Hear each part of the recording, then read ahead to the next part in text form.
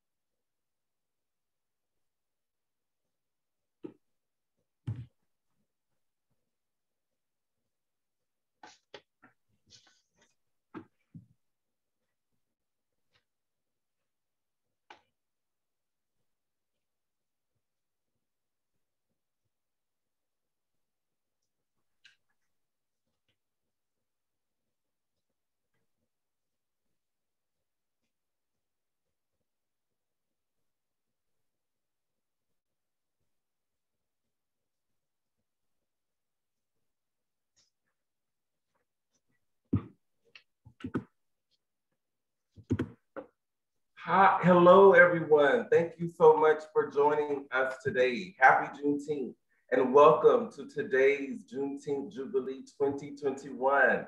I am so excited to be with you today. Um, just to give you a brief rundown um, before I get into the heart of the presentation, uh, I'm gonna give a, just a few introductory remarks, probably about five to 10 minutes. And then I'm gonna briefly go over the book list that my colleagues and I created. Um, that'll be about five minutes. Um, then our wonderful guest, Mr. Shomari Wills, author of Black Fortunes, will give a presentation about 40, 45 minutes, and then we'll take a three minute break.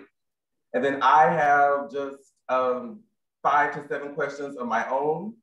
And then we will open it up to audience questions um, in the chat, and you're more than welcome to submit those questions at any point throughout the program. Um, if Mr. Shomari Will so chooses, he can provide closing thoughts and his social media information.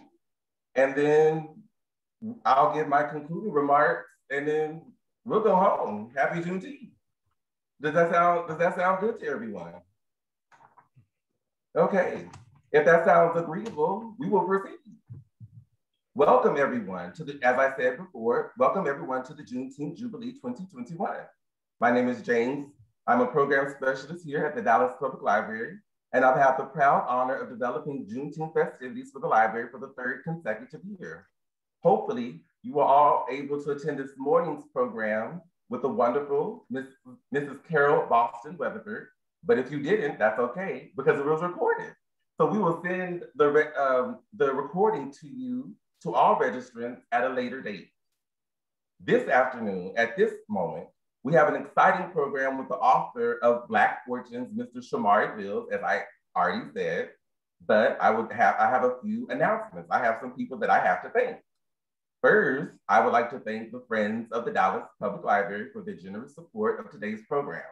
Without them, this program would not be possible. I would also like to thank my colleagues who have helped me put this program together. Their names are Adrian, Alicia, Monique, Rotina, Jordan, and Carlos. Thank you.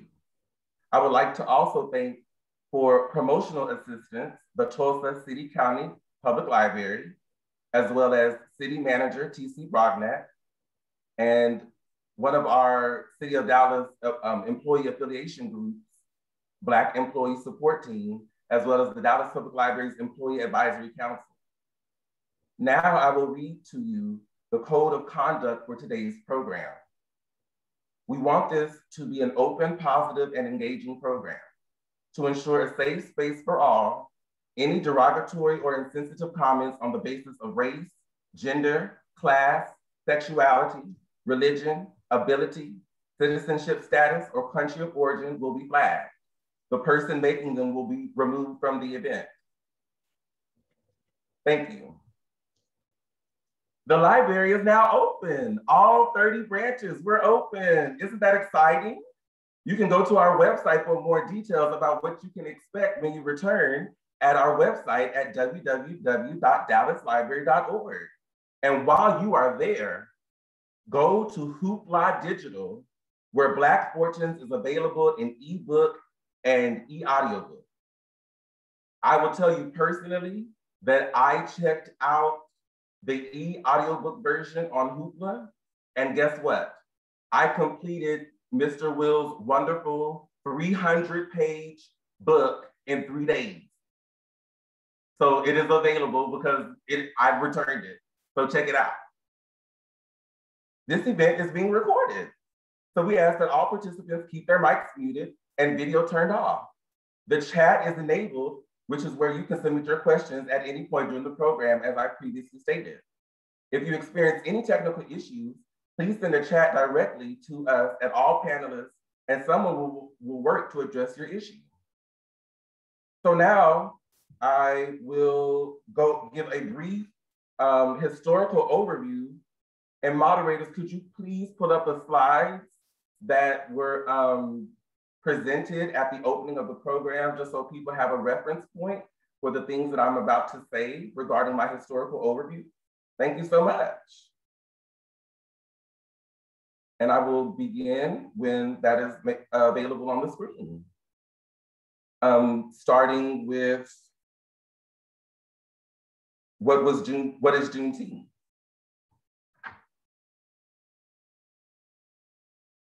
There we go. Thank you so much. What is Juneteenth? After the Civil War, Union General Gordon Granger delivered General Order Number Three in Galveston, Texas on June 19, 1865, announcing that all enslaved peoples in Texas are free. Every year, this event is celebrated as June 19. Get it? June plus 19. In 1979, Juneteenth became an official state holiday in Texas. Since 2016, Fort Worth native Mrs. Opal Lee started Opal's Walk from Fort Worth to Washington, D.C. to gain support from Congress for Juneteenth to finally be recognized as a federal holiday. Looks like her hard work paid off because on Thursday, June 17th, President Joseph Robinette Biden Jr. signed into law Juneteenth as a federal holiday. Isn't that amazing? Next, because our focus of this program is Black economic empowerment, please proceed to the next slide about what was the Freedmen's Savings Bank. Thank you so much. I will begin, thank you so much.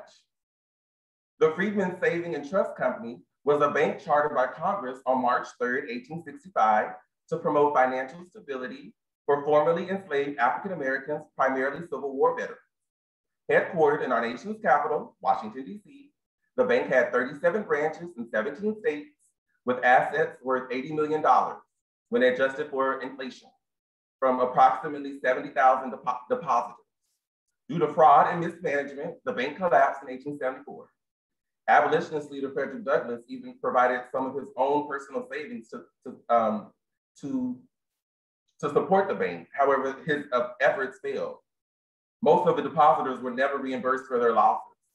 This is, and this is the reason why, if ever you've seen Big Mama hide her cash underneath her mattress, this is why. The mistrust between the African American community and the financial institutions of the United States continue to this day. Next slide, please.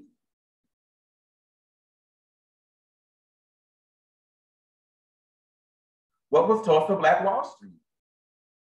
Today, Greenwood was an all-Black neighborhood of Tulsa, Oklahoma, annexed in 1909 after an oil, oil boom that became a safe haven for African Americans fleeing Jim Crow segregation in southeastern states and seeking financial prosperity. Due to the unprecedented number of Black-owned businesses in Greenwood, the area was christened, quote, Negro Wall Street by civil rights leader Booker T. Washington. On Memorial Day 1921, racial tensions escalated into one of the worst massacres in American history, with an estimated 300 dead, 10,000 homeless, and damages estimated in excess of $30 million when adjusted for inflation. 2021 marks the centennial of this tragic event in American history, which is why we have Mr. Wills, who discusses one of the founders of Black Wall Street, as, as well as other historical figures of Black economic empowerment in his book, Black Fortune. And we will introduce him momentarily, but first, um, I would like to show you the book list that my colleagues and I created. The book, the book list slide, please, thank you.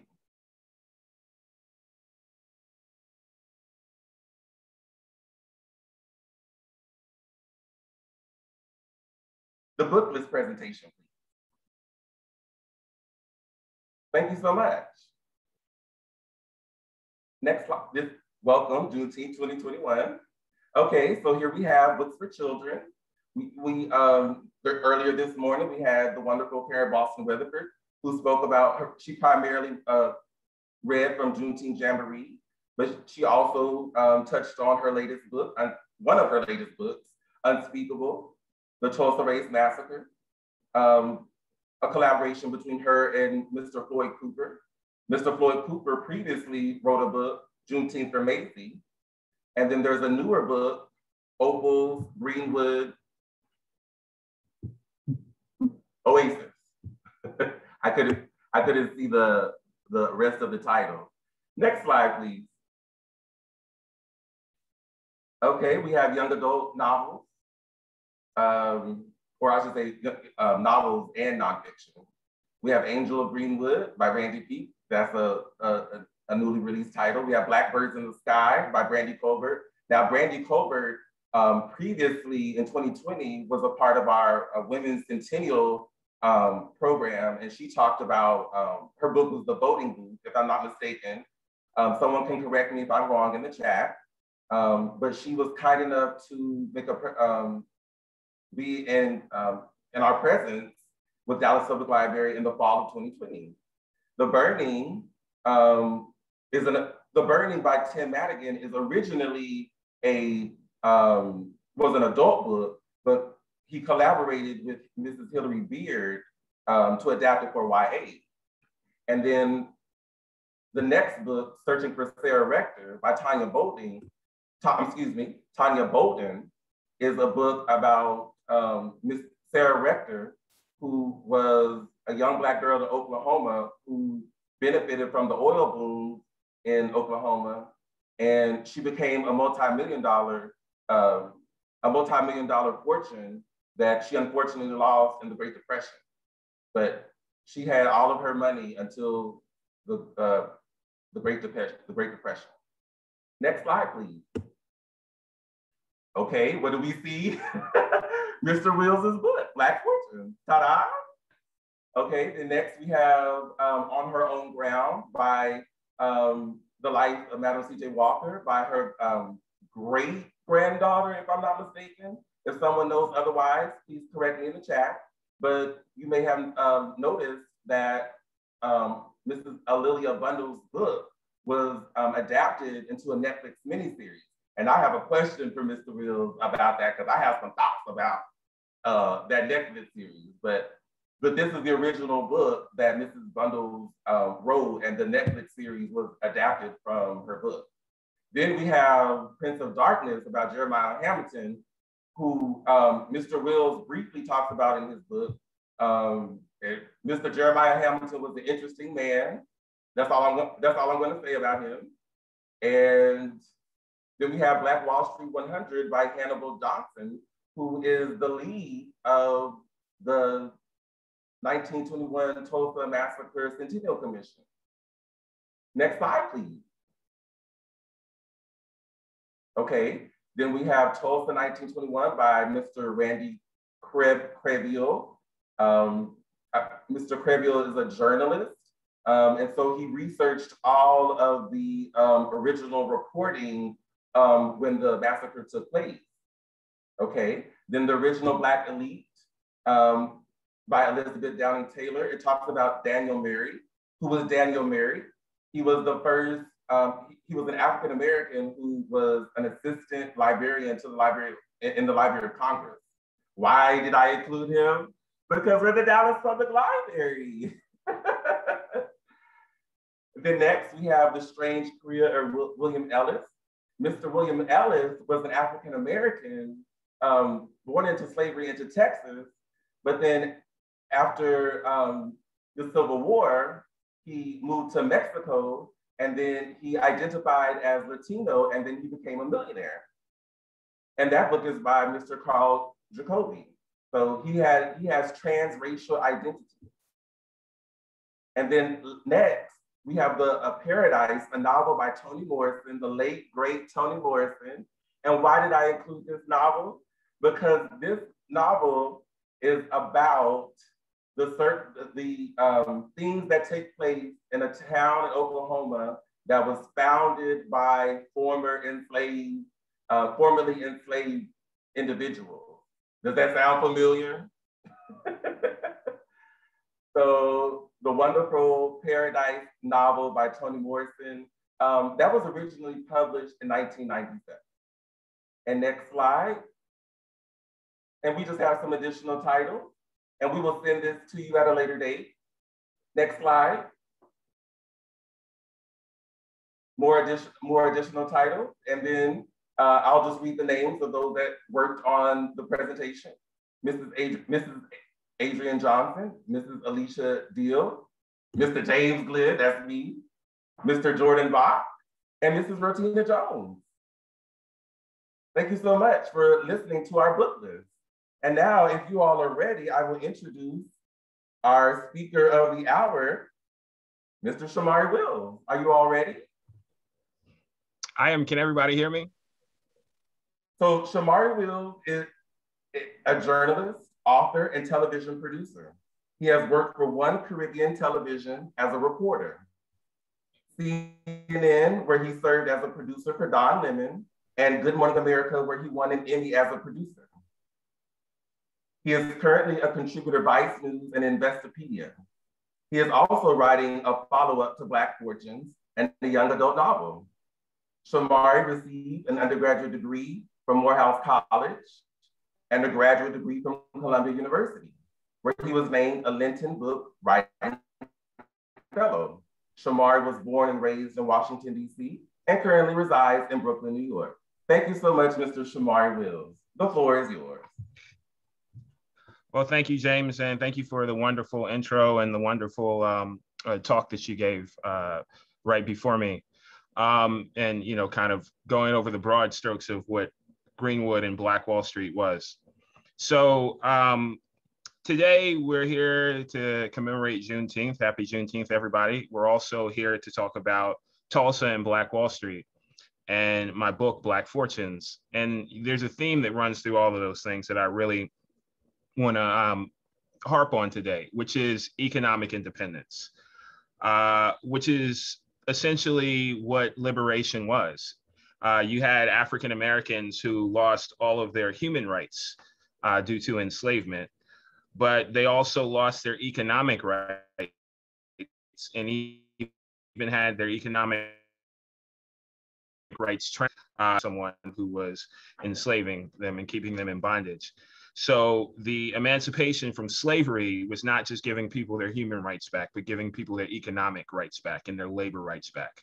Um, and so that is uh, an important theme for African Americans economic independence, uh, economic empowerment, economic rights um, that inspired me to write my book, Black Fortunes. Um, I copy here, I'll hold it up. Um, and basically what this book is about it's about the economic history of african americans it's, it, it follows the first cohort the first group of black millionaires um, and tells their story. And through it tells the story of the economic story of black america uh, how black america came out of slavery came through slavery uh, and managed to establish itself and build you know many of you know the great black cities of america such as atlanta uh, such as uh, Memphis, and what we're going to talk about today uh, is Tulsa and Black Wall Street. Um, in particular, Tulsa and Oklahoma has a really important theme which dovetails with Juneteenth, because probably no no more than more than any place on earth, Oklahoma uh, was almost a holy land for emancipated African Americans um, and I'll get into why. But African Americans used to colloquially re- uh, refer to Oklahoma, you know, in the um, uh, post uh, Civil War period uh, as the Promised Land. Uh, African Americans would talk about um, Oklahoma, you know, in, in in in you know almost dreamlike terms. That it was just, just this place where African Americans could be free, uh, they could own some land, uh, they could be independent. And the reason for that is because Oklahoma was really the only place in the country that was not controlled by white people, so to speak.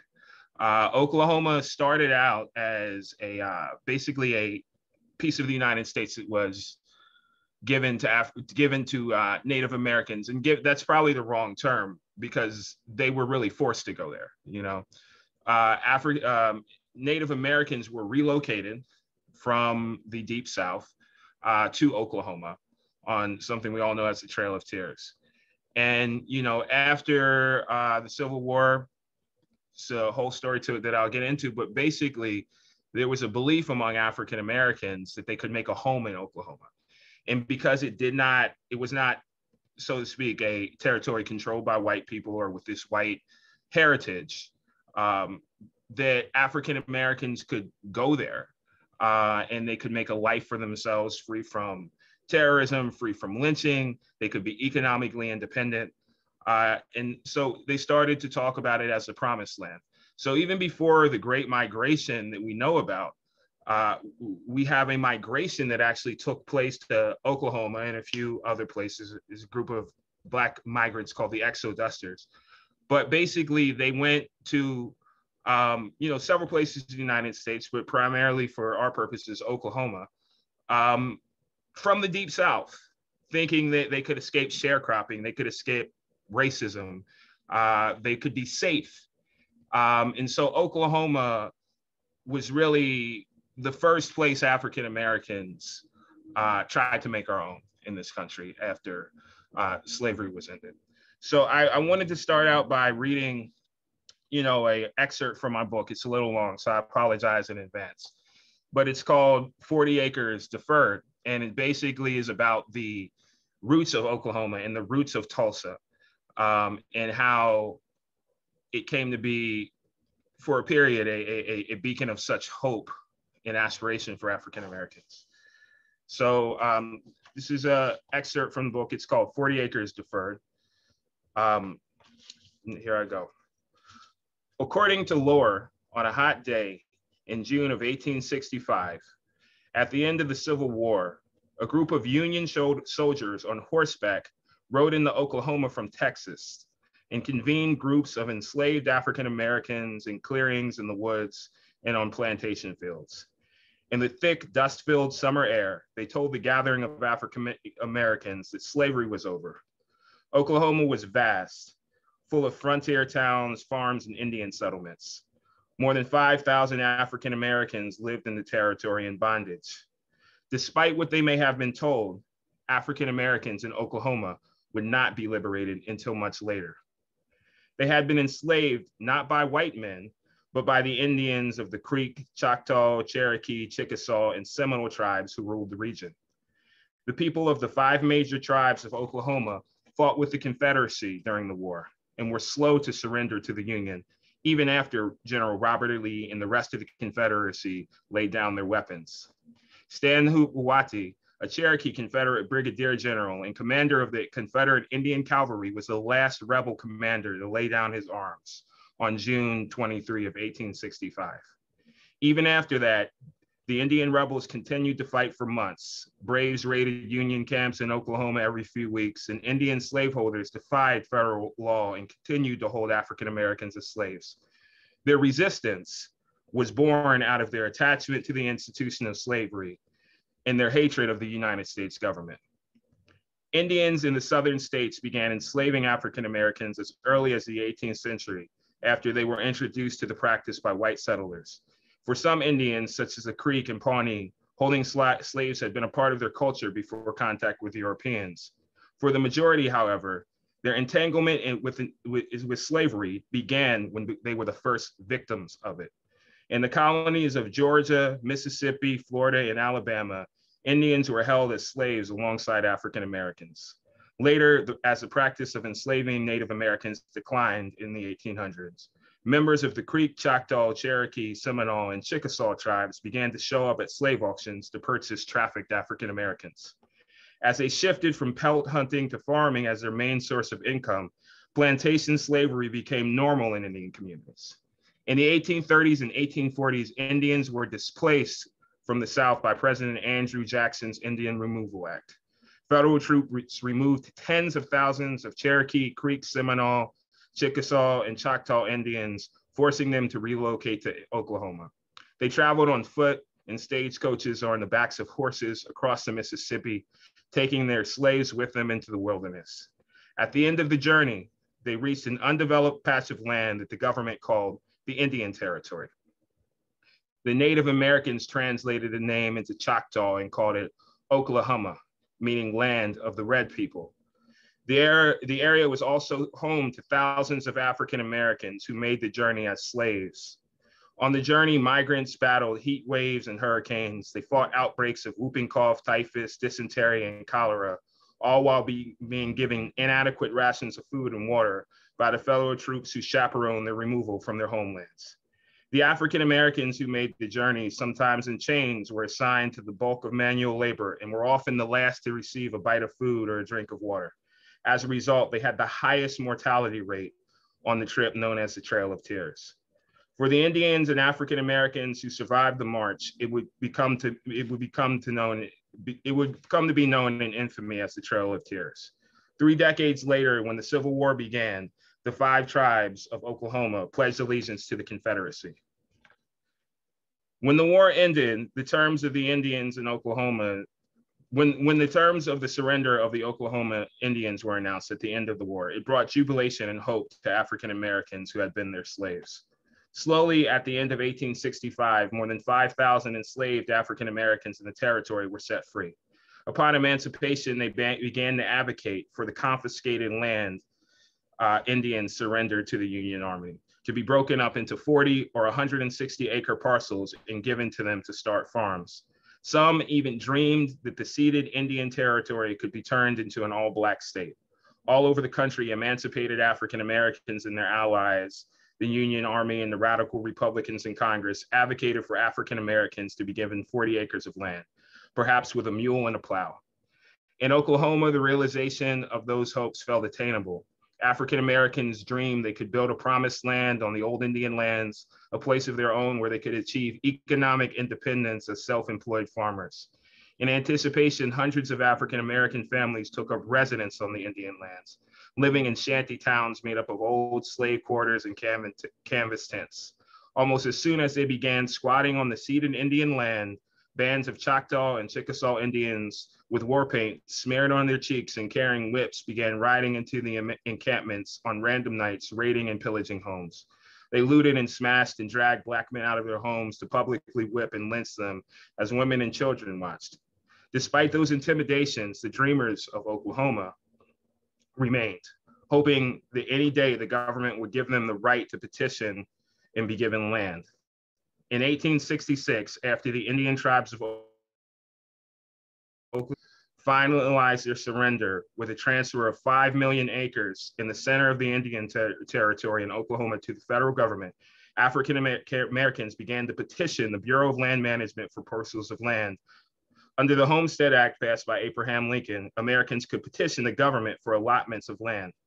Soon after the first inquiries were received, the Bureau of Land Management rejected them, announcing the lands had already been earmarked as a resettlement territory for a new group of displaced Indians who were being removed from the Midwest on a second Trail of Tears. Defeated, some African Americans stayed and fought to be accepted as tribesmen by Native Americans who had once held them as slaves. Others left Oklahoma altogether to find their way elsewhere in the emancipated world. There would be no 40 acres for them. There would be no promised land. Not yet. So I kind of wanted to read that excerpt uh, to kind of set up the um, history of Oklahoma and the history of Tulsa and how important this place was to African Americans going all the way back to emancipation. It was such a place of great hope. Um, and you know, as you know, as as time went on, uh, and things got worse after emancipation. We, we had a brief period um, where African Americans, you know, enjoy, you know, relative freedom known as Reconstruction.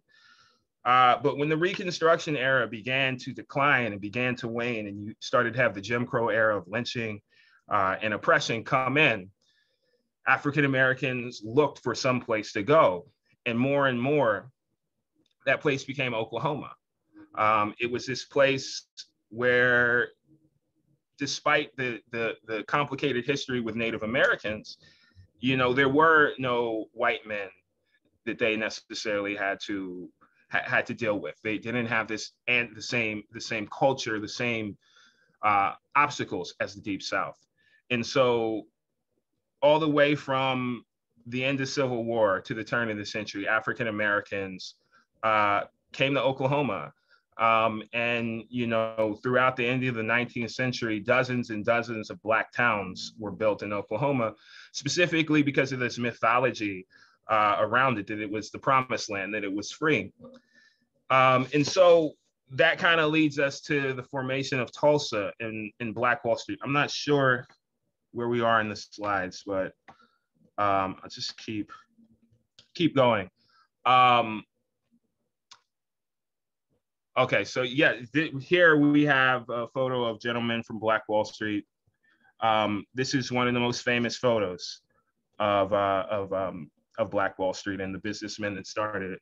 So how how basically it came along is you had this mythology around Black people in Oklahoma. You had Black towns being built uh, in Oklahoma, just a constant, uh, you know, uh, constant migration to Oklahoma from other parts of the United States by, by Black Americans. So, towards the end of the 19th century, uh, oil starts being discovered in Oklahoma. Um, and right at the turn of the century, you start to have big deposits of oil discovered in Oklahoma. 1901, 1902, 1905 was a big one. And so we know that, you know, uh, oil is black gold you know, and so this created a massive economic boom. And you started to have people move into Oklahoma uh, to mine the oil out of the ground.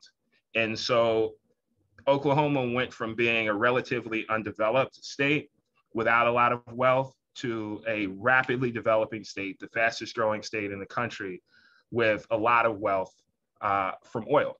And so the opportunity that came along with that was not necessarily to work in the oil fields as you would think. Most, in most cases, African Americans were actually banned from working in the oil fields, unfortunately.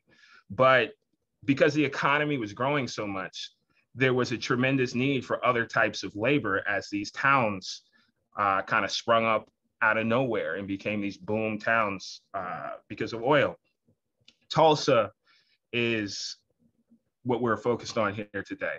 Uh, and it became one of the biggest boom towns in the West because of the, the, the discovery of evil. And so what happens is that you have a businessman, two businessmen, J.B. Stratford and O.W. Gurley.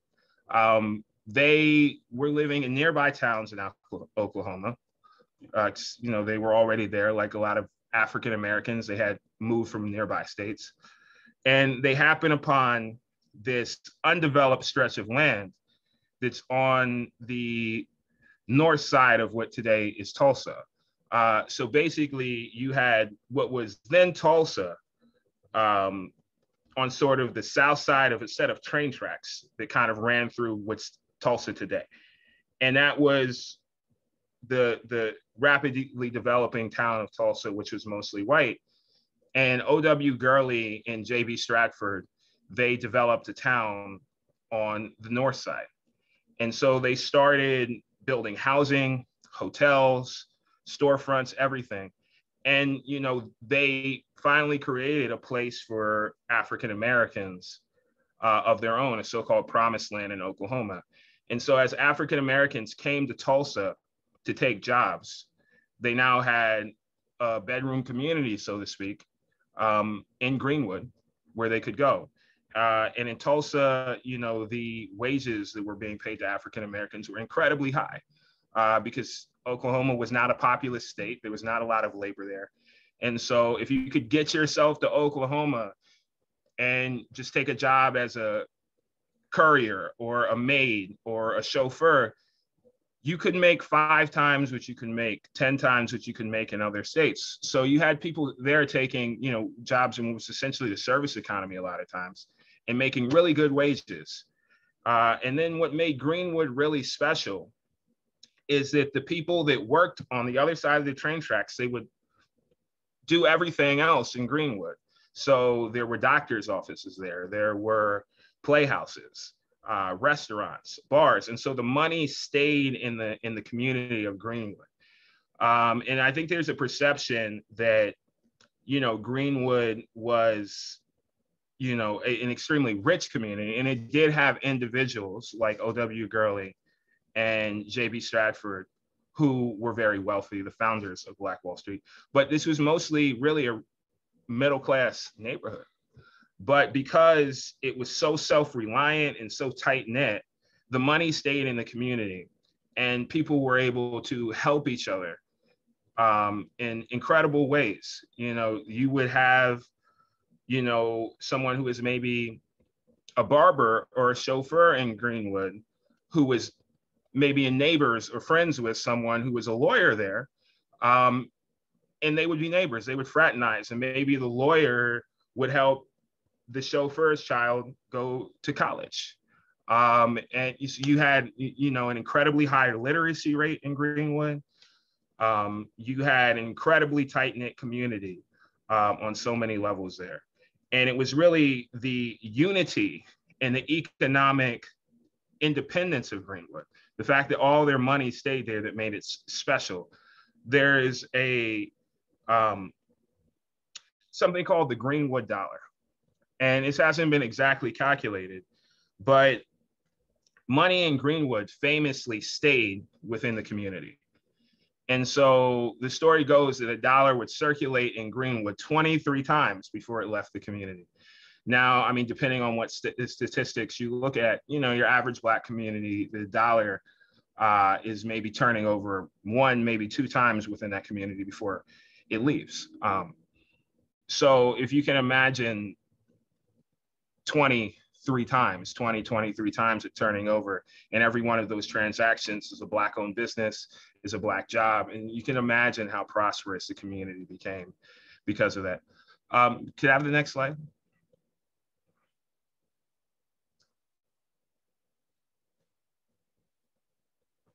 So here's a little context of where we stand today in terms of Black wealth and why it's important. I love to show the statistic because I think most people, when you ask them what is the economic status of the Black community, depending on how uh, who you're asking, they're going to tell you that there's no middle class, everyone's in poverty, um, and that there's just, you know, just no black people who basically are doing well economically.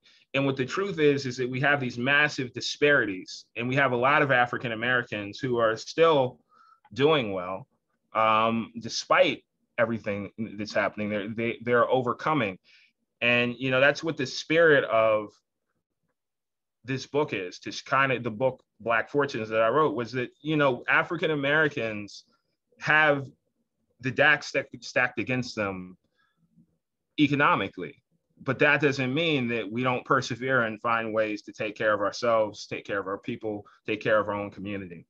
Um, so I just like to show this chart every now and then, it's just for people to have that in their minds what the economic distribution looks like. If I can have the next slide. So these are some of the reasons why you do have some disparities in race, home ownership, uh, low rates of investment in securities, racial pay gaps, less inherited wealth. Uh, if I could have the next slide. This is the chart that I, I really like to show because when you contrast it with the first chart, which shows you that there are not these crazy massive differences in income in terms of what people earn, but this is the the gaps in wealth are actually really really large. Um, and wealth is not necessarily what you earn it's what you have what you own. Um, so this is an interesting chart to contrast with the first one. If i could have the next slide so i just want to go over the characters in, in my book black fortunes um, and who they were. Uh, this is before i dive back into greenwood in oklahoma. This is what william leidesdorff as far as i can tell he is the actual first black millionaire. He was a um, he lived in he was he was born in the islands, but he lived in New Orleans, Louisiana, um, where he became a shipping merchant. His um, his uh his so so basically Williams Leidesdorff. I'm not uh, you can if you you can check out his whole history in the book if you want, but basically he was this guy that became the shipping merchant in New Orleans during slavery. And if you know anything about New Orleans, it's a polyglot. Everyone's there. You know, black people, uh, white people, people from Asia. It's always been an incredibly diverse diverse place. So people didn't quite know what he was. He was a you know fair skinned African American man. Um, had he's known to have kind of sort of curly, loosely curled hair with like a red tint to it. Um, but he was this shipping merchant that did really well in New Orleans, and he got engaged to this woman, as the story goes, from he, she was a uh, aristocrat in Louisiana. She actually had blood that went back to the French monarchy, and uh, apparently she didn't know he was black. He he he had lied to her about it, and they were to be married and uh, he came out to her, told her she was black. Her father got involved, broke off the engagement, and the story goes she died of a broken heart. So William leaves. He goes to California, except this is California when it still belonged to Mexico. Uh, he goes to California, starts a business out there as an importer, exporter, and merchant. Uh, got involved and uh, was a coffee merchant um, and he became very friendly with the Mexican government. Um, and the Mexican government ended up giving him a massive amount of land as a gift. Um, and you know, I wish I had a map to show this. I wish I'd included this. But basically, if you look at Sacramento, that's basically that was his land. And so when uh, California became part of the United States, um, when we acquired it from Mexico, um, now he has this massive piece of land in the United States, and guess what? They discover gold there. It becomes an incredibly valuable piece of, piece of land. Uh, and this made him into a millionaire. He's a really interesting guy. He had a huge life as a diplomat and as just a business person. Uh, he really helped build up early California. But he died shortly after gold was discovered on his land. And his family uh, who was from the Caribbean they were illiterate, they actually ended up being swindled out of the land. Uh, it's a very unfortunate story, but he's he's really interesting guy. Uh, if I could have the next slide. this is Mary Ellen Pleasant, another uh, Californian. Um, she was actually born in Massachusetts, but you know she's best known for California. Uh, she was born free during the slave era, era uh, in Massachusetts. Well, she was born in Pennsylvania, grew up in Massachusetts, and when she came to be an adult, um, she went to California during the gold rush. So she, as William Leidesdorff was passing away, Mary Ellen Pleasant was arriving, and she had an inheritance from her husband, and she invested it really shrewdly during the gold rush. Um, anybody who knows anything about the gold rush knows that the people that really made money were not the people that mined for gold. A lot of those people actually went broke. The people that made money uh, were people that sold things to the gold miners. Like we all know Levi's jeans, right? You know, Levi's was selling overalls to gold miners. So, and this is a massive company now. So, uh, uh, along the the the same the same uh, lines, Mary Ellen Pleasant, she started laundromats which were big because you people had no way to wash their clothes. They had to actually send their shirts to China, if you can believe it. Uh, she started laundromats. She started a money laundering business because miners they were boom or bust workers. They would either have a lot of money or be broke, so they always needed loans. Um, you know, and she actually started a boarding house, and she had one of the nicest boarding houses in California. The governor of California actually lived in her boarding house, and she just became incredibly wealthy, became a millionaire uh, also an activist. I mean, it's so hard to sum her up in this little snippet of time, but she's known for giving money to John Brown to help raid on help the uh, fund the raid on Harper's Ferry, and then after um, the Civil War, she continued to be an activist, uh, continued to champion Black causes and women's causes in California. She integrated the streetcars there, which, fun fact, uh, Maya Angelou was actually, I, I, I believe, the first black streetcar driver in San Francisco. So there's a connection between Mary Ellen Pleasant and Maya Angelou. But she integrated the streetcars. Uh, she advocated for women's divorce rights because women used to just get a horrible deal in divorce. Um, and you know, just you know, really advocated for Black people and Black causes. She's an amazing person. Uh, if I could have the next slide. This is Robert Reed Church. He was the first Black millionaire in the South. Uh, he was born a slave in the Mississippi Delta. Uh, his father was the man that enslaved him. His mother was a, an enslaved seamstress. And um, she passed away when he was very young. So he actually went to live with his father on the riverboat where he actually worked. Uh, and so he learned a lot about entertainment because these riverboats, they were raucous, they had gambling, they had shows, they had music and he basically grew up doing that, serving food, cooking food, uh, being a waiter, making drinks. And so um, when the Civil War broke out, um, his father has this big steamliner that goes up and down the Mississippi, entertaining people and also shipping cotton uh, was one of the main ways his father made money. And the Confederate comes and commandeers his father's ship with him on it, he you know he goes from being property of his father to property of, of the con- Confederacy, if you can imagine it. Uh, during a big battle called the Battle of Memphis, he actually jumped off the ship, swam to freedom, um, built a life on on Memphis as a uh, basically in entertainment, though in real estate were his main businesses. He started a pool hall which kind of expanded to a big dance hall or almost nightclub. And he owned bars. And then he also got into commercial real estate, uh, making some shrewd investments, buying up real estate during uh, a couple of the yellow fever pandemics. If I could have the next slide. This is Jeremiah Hamilton, uh, was mentioned by James in the intro. Super interesting guy. He was a Black Wall Street broker, uh, back during the, the, the, slavery period. He dueled with the Rockefellers. He was just an incredibly interesting guy. Uh, ruthless, ruthless investor, uh, the Black Wolf of Wall Street, if you will. Um, but, you know, I talked about him in my book particularly because there was a point where uh, there was an assassination attempt made on his life because uh, he was this rich black guy and he was married to a white woman. And this is you know, during a period where black people are still enslaved and he's married to a white woman. So, you know, that of course brought some scrutiny to him and they actually tried to kill him. And, you know, I, I, I, wanted to talk about the particular assassination attempt on his life because almost all of these folks, these early millionaires, had attempts made on their life um, because it was just that upsetting to people. If I could have the next slide. And here we go, O.W. Gurley and Black Wall Street. I love this picture because this is one of the only pictures of O.W. Gurley. If you see the guy kneeling down with the glasses, that's O.W. Gurley.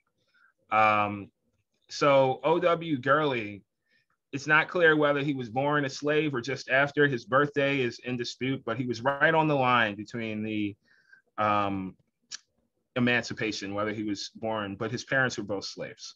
And he was born in Pine Bluff, Arkansas, incredibly industrious guy. Uh, started out uh, started out as a teacher, then you got a job in the post office um, right after uh, the Civil War, which was really important because being in the, po- the Postal Service was one of the first uh, federal agencies to integrate. So if you're a black person and you wanted a federal job, especially during the Reconstruction period, the post office was it. He um, left that job, became a principal, opened a grocery store.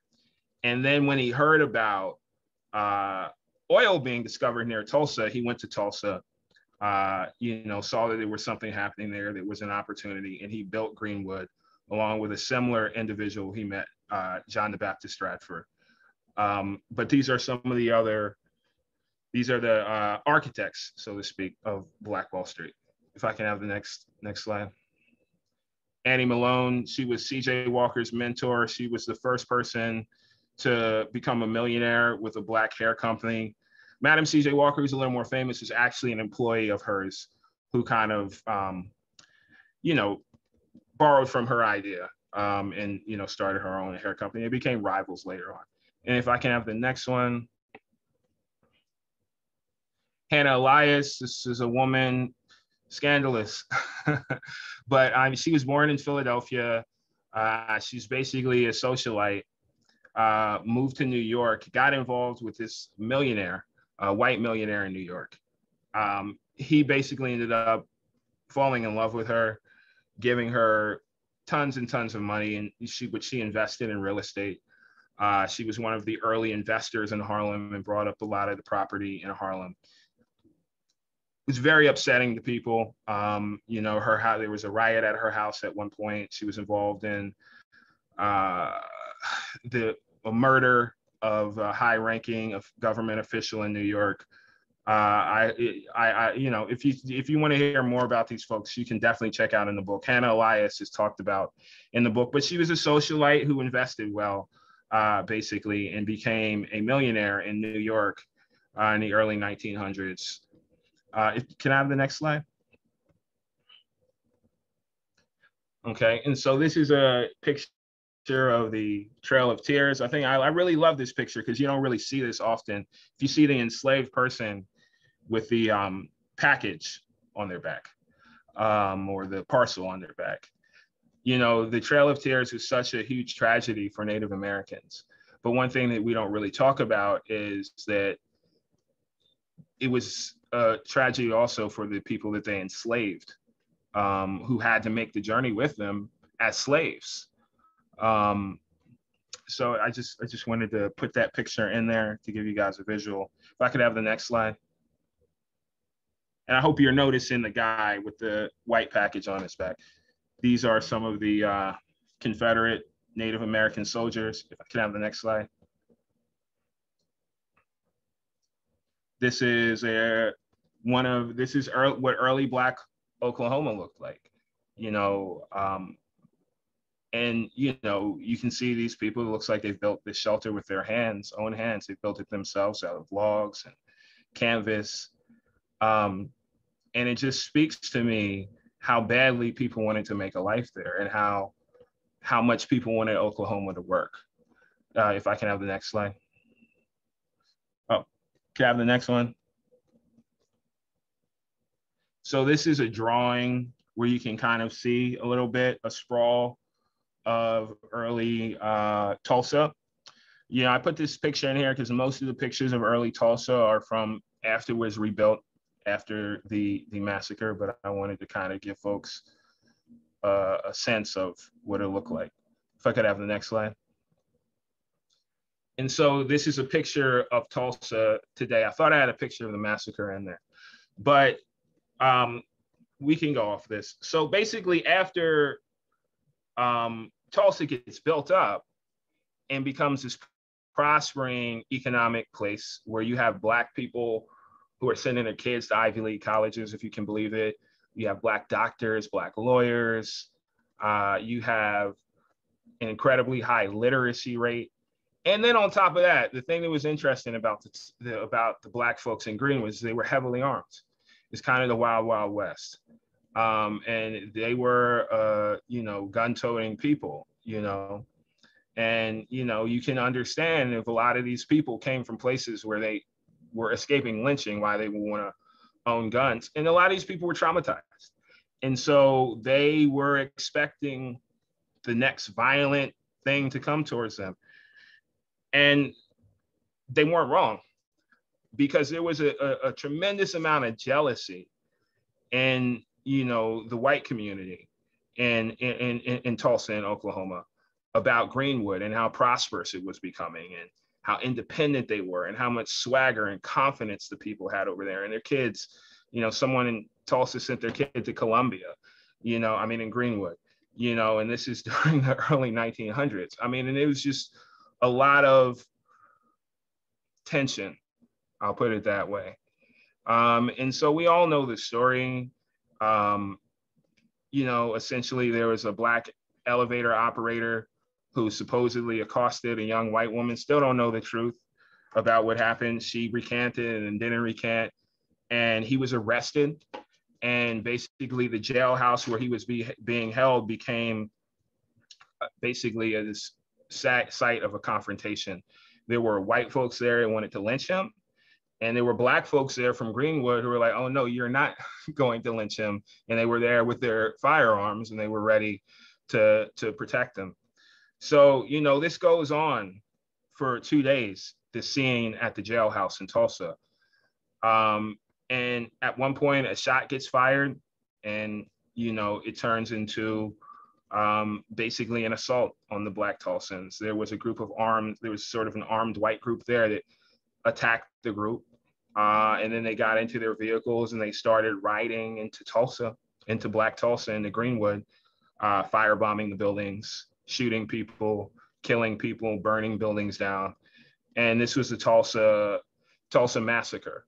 Um, you know, and we're celebrating the the the the centennial of it. Put this picture just because I, I, I wanted to show what what it looks like now, and it was rebuilt very soon after the massacre, which doesn't make up for what was done. Um, so much wealth was destroyed. So many businesses were destroyed. O.W. Gurley, the founder of Black Wall Street, moved to California. He just left. He didn't. He, just, he was traumatized. Um, but it was rebuilt. But my question to you to think about, you know, maybe you regained Tulsa in, in a way, but I think you kind of lost the promised land. That concept of this place that African Americans could go where they could be prosperous and safe the buildings, you know, in Tulsa, a lot of them were rebuilt. Some of the businesses reopened, but you could never restore that sense of safety, um, you know, that sense of refuge that African Americans had in, in, in, in, in, Tulsa, you know, and I think we're still looking for our promised land today, you know, and, you know, we fantasize about Wakanda, you know, and all these different things, but this was, you know, in a lot of ways, an independent, powerful Black community where people were not afraid. Um, and so I think it what, what was was obviously tragic that it was destroyed, but you know it's also interwoven with the story of Black folks coming out of enslavement and you know standing on their own two feet and gaining economic strength um, and you know what that meant from a, a, a, standpoint of independence. We're able to build our own institutions. You know, we still have these cities like Memphis and Jacksonville um, that were basically built by Black entrepreneurs. But there was also a cost and a lot of people, you know, paid the price. So I think that's something to to to think about today. And I'll close with this picture of the folks dancing in uh in Greenwood. I think that's important. You know, Greenwood was known for its joyousness. They used to have these street street parties. Um, and you know, basically in Greenwood, they didn't party in a club, they partied in the dirt dirt roads in the street. And so everybody, when every people had the day off, um, I believe it was usually Tuesday, most people had the day off in Greenwood. You would have bands and people pour out into the streets in Greenwood and they would just dance. They would just dance. And, you know, it was just described as one of the most joyous things you would ever see. Just everybody pouring out of their houses in Greenwood into the streets and just just dancing and shuffling along and having a good time uh, and smiling. So when I try to think of Greenwood to balance out the tragedy, the pain of it, you know, I think about people pouring out into the streets of, of, of Greenwood and just just just being joyous, you know, and hoping that, you know, in some instances, maybe we can recapture that feeling every once in a while. So I'll take questions if folks have them. Um, James, did you want to ask me the questions or do you want me to just go through the chat? Hi, Mr. Wills, can you hear me? Can you hear me, Mr. Yes. Wills? Yes. Yes. We're actually going to take a quick three minute break. Um, and thank you so much for your wonderful presentation. We're going to take a quick three minute break, as I said earlier. Oh, no, no. And then I do have questions and um, after we come back from the break, okay? Okay, do you want me to, you stay logged on though, correct? Yes, yes. We will both stay logged on. We will both just take a three, a a quick three minute break. And can, Okay. uh, can the technical support please cue the slides? Thank you so much. Thank you so much, Mr. Wills. Your presentation was amazing. Oh, thank you, James. And thank you for the introduction, the introduction. Yes, sir. When the slide starts, we will begin the three minute break from the beginning. Thank you so much. We will now break.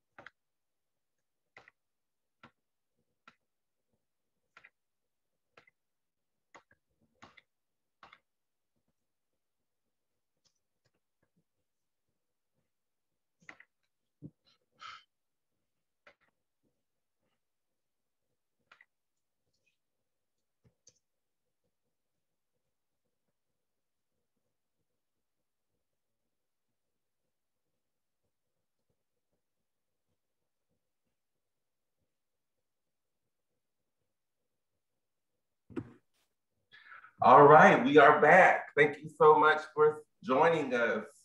Um, yes, Mr. Wills, before the break, uh, you asked me if I had some questions, and I most certainly do. Um, not that many, but just a few. So my first question is, um, so many of the staff of the Dallas Public Library have the wonderful privilege of attending um, the annual Texas Library Association conference um, that took place in April. And one of the featured speakers was Mrs. Ilyasah Shabazz, the daughter of Malcolm X. And she came to promote her latest book. Um, but I, she mentioned the reason that she writes multiple children's books about her parents and her grandparents is because the publications um, about Malcolm X were not accurate. And she felt it was important to control the narrative. And in reading um, the introduction of your book, when you talk about your relative, John Drew, I was curious to know if you felt the same.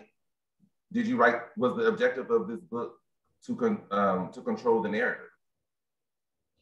I mean, not really. You know, I mean, there's not too much controversy with him. You know, he was, um, for folks who don't know, my great great uncle, John Drew, was one of the first Black millionaires in the Philadelphia area. Um, and, you know, he basically started a trolley company and invested the money in the stock market in the 19 teens and 1920s and pulled it out right before the crash. And he bought a Negro League baseball team uh, the only thing controversial about John, and I didn't get into this, is like him and the manager of the baseball team had like a horrible falling out, you know. Um, and I think they had won the World Series before, so there's some baseball drama. I mean, if anybody wants to talk baseball, but I think he, you know, there there was like, uh, you know, stuff about like pitchers and what the team was going to be named. But I mean, you know, I, he's not a well-known person, so I didn't really you know, you know, I was glad to be able to mention him. But it, it, you know, I don't think with John, it was really you know, Uncle Johnny. It was really about controlling the narrative with him. Um, that story still has to be written about the Negro League um, and what happened there. Um, but uh, I I did feel like it's important that you had black voices weigh in on some of these other folks like Mary Ellen Pleasant and Robert Reed Church specifically, who've only really been written about by whites, and especially in, in, in, in for the most part. I don't want to speak because I know there's some black folks that have done work on these folks, and I don't want to take anything away from them. But the, the the the publications about these folks that are heralded and lifted up are by white scholars, which is not necessarily not necessarily anything wrong with that. But with Mary Ellen Pleasant in particular, there's a, a, woman named Helen Holdridge who did the majority of the scholarship on her, who was an avowed racist, um, is a white supremacist, and you know she, the stuff she writes about Mary Ellen Pleasant, and she was into voodoo, you know, she's trading sex for, you know, all this horrible, horrible stuff, and you know that was out there, and this, this is not somebody current. This is this is like, you know, 60 years ago, 70 years ago, she wrote this, but it's still like reference today. Um, and you know, with Robert Reed Church, a lot of people say he was a pimp, you know, because he owned basically he owned he owned the majority of the real estate on Beale Street in Memphis. And so any business was pretty much on Beale Street, he was your landlord, whether it was a bar or whether it was a barber shop or it could have been a strip joint you know, or it could have been a brothel, you know, but he wasn't, he never owned and operated any of these businesses. But what they love to do with Robert Reed Church is say, oh, well, he was a landlord to this guy who operated a brothel, you know, and so he, that makes him a pimp and he was, you know, a human trafficker. I'm not saying, you know, it's the greatest tenant to have is, you know, I'm not excusing that, but to call him a human trafficker and a pimp and all this, is, it's, it's extreme and, and, I do feel like sometimes stereotypes work their way in, you know, because to, to, to kind of explain away the excellence of some of these people. That Mary Ellen Pleasant couldn't have just been a genius, right? What W. W. E. B. Du Bois said about Mary Ellen Pleasant, he said if she was a white man, she would have been president. She was a genius. right? She was this person who was a, as a black woman was able to go to San Francisco, see where the investment opportunities were, you know, like you know a lot of folks did in San Francisco. A lot of those companies founded during the gold rush are still big companies today. I mentioned Levi's, you know, or it became big during the gold rush. You know, she was a genius, but you know, a lot of people say, oh well, maybe she was sleeping with a white man who knew something and he told her, and that's how she knew. And she did have business partners, but you know, they were there's in my opinion, those are legitimate business relationships, and then just say, well, she was having a, a relationship with this person, and that's why she was able to do so well. It's it's so it's specious to me at best. So I think I really did want to, you know, try to write these people's stories with taking a lot of the folklore and stereotyping out of it. And that's not to say that I got everything right, but you know, I feel like with black people that do incredible things, especially going further back, it's always like, oh, how do we explain this away? You know, what evil thing, what voodoo, literally, what voodoo were they doing to to to to be able to uh, attain this? Um, Jeremiah Hamilton is another one, and you know, he was a messed up guy. You know, I mean, he's a lot of those early investors were ruthless. He was a ruthless guy. You know what I mean? But other folks who are ruthless investors on Wall Street, you know, they have buildings named after them, you know, and they called him the Prince of Darkness because of his ruthlessness and his skin tone. Um, so I just I just feel like it. I I, I did I did, did feel like some of the the the uh, research on these folks was one sided, and you know I give the negatives. I show the problems that a lot of these people had. I showed them as tried to show them as full human beings with flaws, but I don't use their flaws to explain away their economic accomplishments because I fundamentally believe they're separate. Thank you so much for your response. You know, um, nobody is a saint, but you know, the, the, the contributions are the contributions. They are, you know, the, the work speaks for itself. My next question is um, along the same lines of controlling the narrative. Um, some of the events and people discussed in Black Fortunes have had movie um, and miniseries adaptations, such as Self-Made on Netflix, um, which is, it primarily focuses on Madam C.J. Walker. As I said earlier when I was reviewing the book list, is an adaptation of um, the book that was written by Mrs. A'Lelia Bundle, um, but it also featured Annie Turnbo. and then as far as the Tulsa massacre is concerned, um, Watchmen and Lovecraft Country um, are on HBO Max. Um, so my question to you is, have you seen these um, movies, miniseries? Um, and if so, how accurate do you think these depict, um, the, adaptations were of the events that they depicted? I've seen uh, Watchmen. I haven't seen the other two you know, I'm, I, but you know, I haven't seen anything. I haven't seen Tiger King or, you know, I've just been behind a little behind on my TV watching during the pandemic. But um, I did see Watchmen. Um, and, you know, I thought it was super interesting. And I love the fact that they were able to introduce that, the, the, the Tulsa Massacre and Black Wall Street to an entire new audience of, you know, comic book movies are huge now. And, you know, I, I thought it was great that they were able to introduce that to folks. And I hope that that made folks go in and really want to learn uh, what went on. I, I, I, you know, I don't think they, I mean, you know, I, I, I liked it, you know, I, I liked it. I, I, I, I think it hopefully will, will get folks more interested in the subject.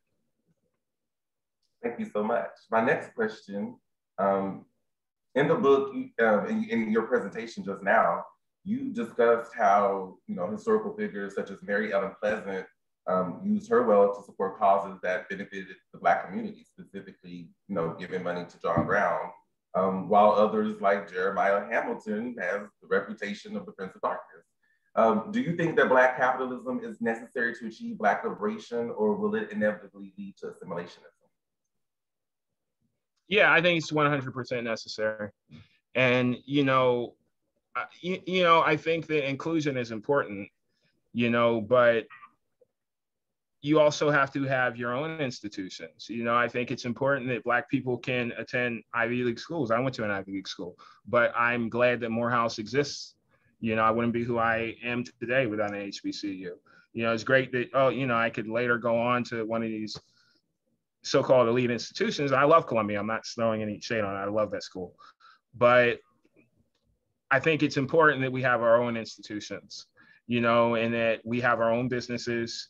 We and that everything doesn't really fall along the lines of lobbying for inclusion you know because i think you know there's a story about how um, you know a lot of the funds that you know corporations promised during you know the um, you know when everything happened with george floyd about how you know a lot of those funds have not actually been delivered you know? And i i think that relying on the social conscientiousness of other folks is is not never a good idea you know? And i think that's what greenwood was about. You know the people in greenwood they weren't adversarial to to to inclusion. Most of them worked for white people you know uh you know O.W. Gurley to some controversy famously banked with a white bank you know i don't necessarily think was a great move on his part because it, if you read the book that you know, dimmed his reputation there.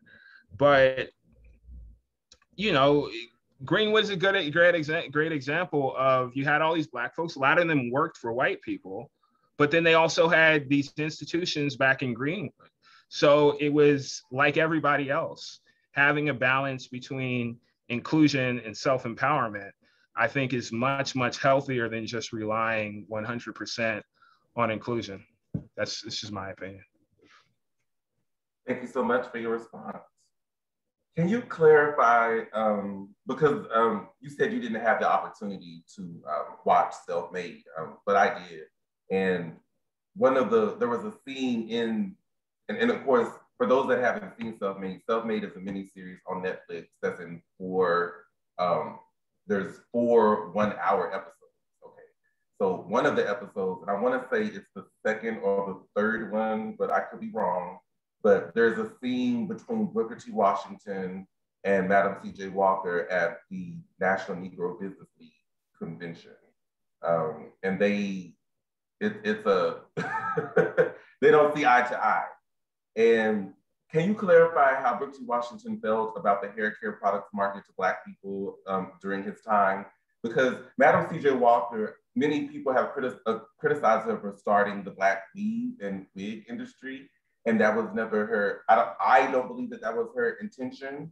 And then after you discuss that, can you um, give us? Um, I don't know if you've been um, in, uh, aware of like the Crown Act, but can you um, possibly provide insight into what momentum there could be to for that law to be passed? Um, can you can you give me a quick summary on the Crown Act? Is that is this natural hair the Crown Act basically says that um, employers and educators cannot discriminate against um, individuals who wear natural hair. Is is it is Cory Booker? Is this is a federal? Is this Cory Booker or? Well, I'm, we, I'm so, so there's multiple there's multiple um, legislation. I know here in Texas we have um, we have some legislation, um, but there's also federal that Cory Booker's introduced. So um, you can talk about whichever, you know, one, because it's in multiple states throughout the country. So you can talk about whichever one you feel comfortable. Yeah, you know, I, I think that Booker T. Washington's, I, I haven't seen that scene, so I don't really want to, you know, without saying it. Booker T. Washington's uh, feelings on the cosmetic industry and the hair industry, they evolved over time. Like he didn't like it at first. He thought it was a waste of time, that it was superficial, so on and so forth. I think when he saw that it was a potential um, business opportunity for Black folks to gain employment, um, you know, have businesses, I think he really, really came around on it. Um, so I mean, he, but he, he initially did think it was kind of superficial and shallow. Um, so yeah, that, that you know that's how he felt about it. But he did evolve. He did evolve. Um, you know, it's a complicated situation with him in in you know hair and you know, but that's a whole nother talk. But uh, as far as you know, the Crown Act and natural hair, I think it's so important. Like when you go back to Annie Malone, one of the things that Annie Malone was she was the she's the great great great great grandmother of the natural hair movement. Um, if she was a huge advocate of black women wearing their natural their their hair natural, um, and she really pushed back on this concept of black women wanting to change their hair, not liking their hair. Um, and I think she she she pushed for for for for more natural styles and you know hair health. Because if the story of Annie Malone is basically that she before she got into like hair styling her first entry into the hair industry was dealing with baldness um, or balding. Because a lot of black women the hair products for black women women right out in the reconstruction and right after the civil war period toxic horrible stuff and so black women were you know mostly made by white companies you know some made by black companies but black women were using these products and they were going bald. And so annie malone first wanted to figure out how to cure baldness in black women which was like an epidemic in like the 1880s 1890s early 1900s like black women were losing their hair you know from these products and so one of the first things she wanted to develop was a method for black women who had, you know, chemical burns from lye soaps, who had clogged pores from they goose fat. That was the number one thing they used to give the black women to style their hair, goose fat. They had these clogged pores from goose fat. Annie Malone wanted to give them um, a way to regrow their hair.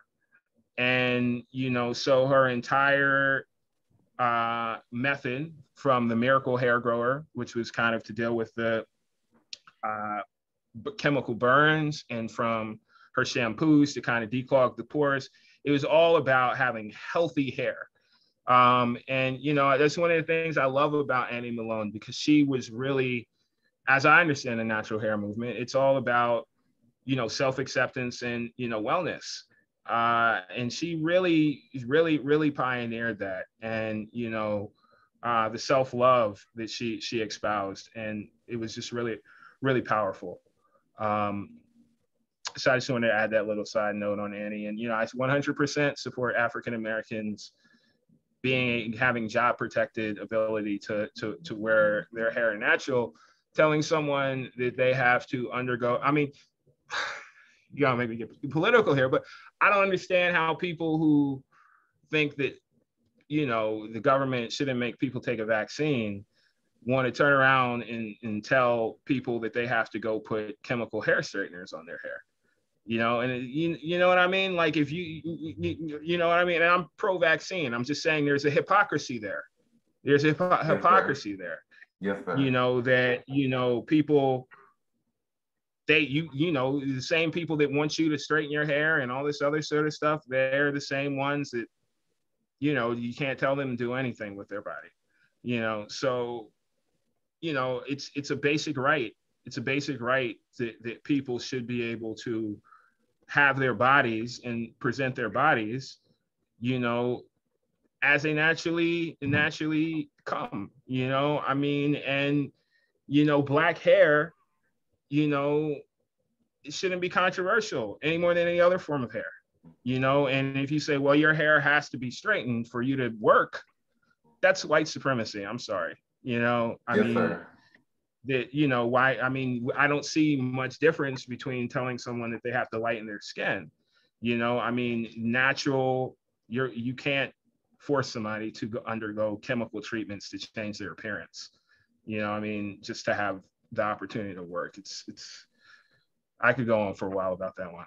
yes, yes, sir. Yes, sir. Thank you for your response. And I will just say personally, so many um, various employers last year, you know, they had the black squares saying that they were committed to Black Lives Matter and racial equity. Well, if that's what you believe, then black employees, if you have them, should be able to wear their hair they want to. Me personally, I just went to the barbershop But why did I go to the barbershop? Not because I was ashamed of my natural hair, because it's 100 degrees here in Dallas.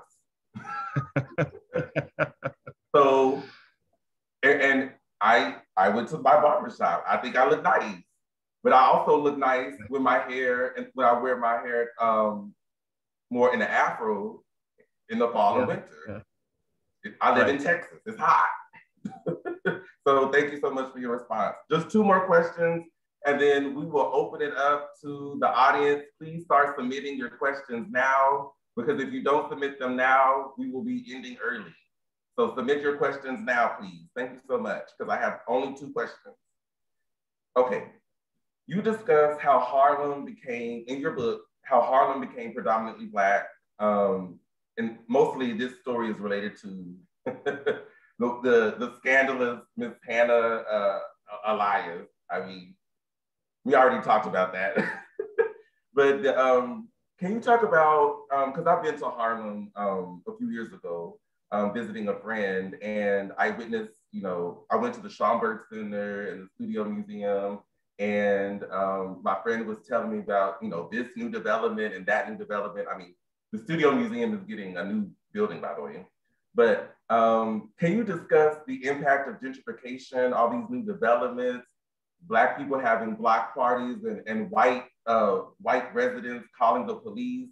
I mean, can you talk about gentrification and how that relates to how that impacts Black wealth, especially in the aftermath of the 2008 recession?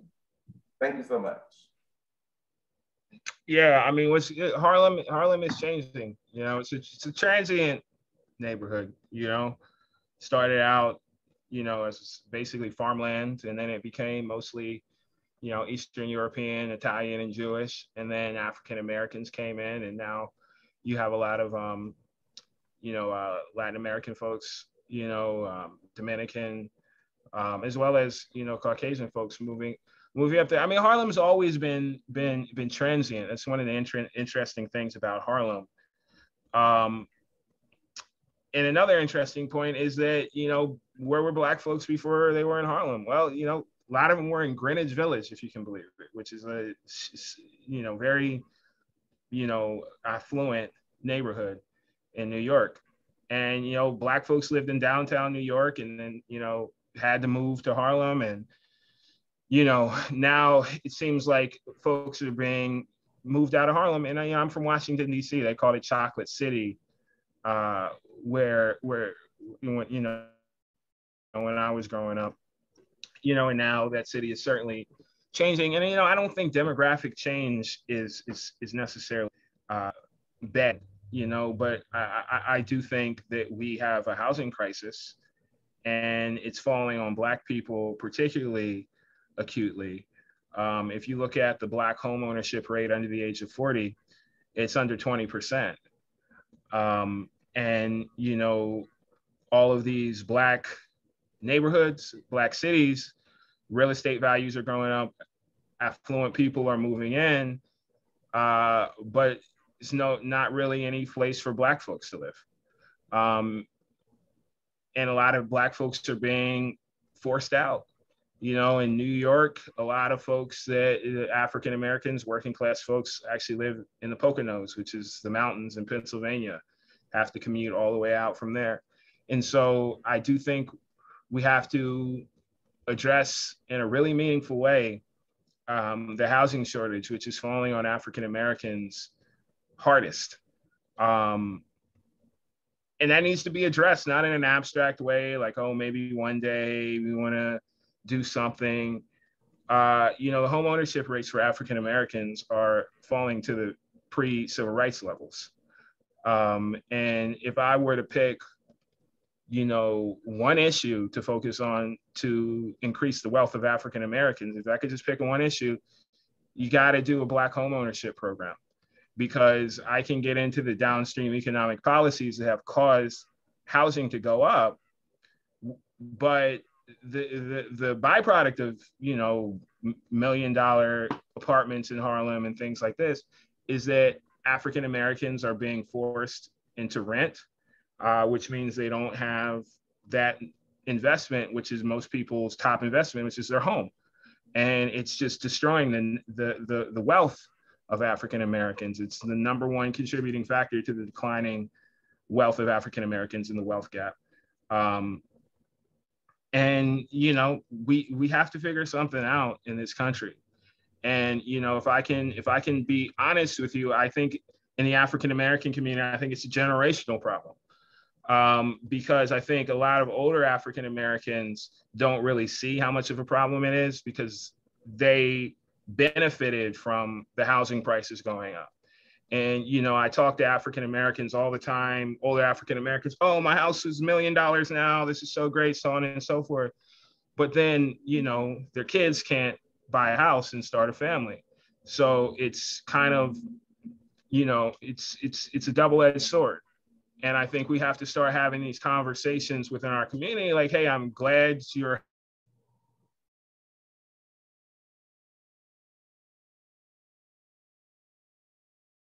Mr. Wills, I think you might have froze.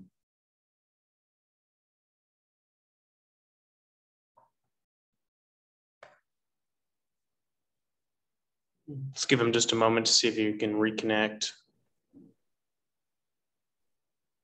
Bear with us.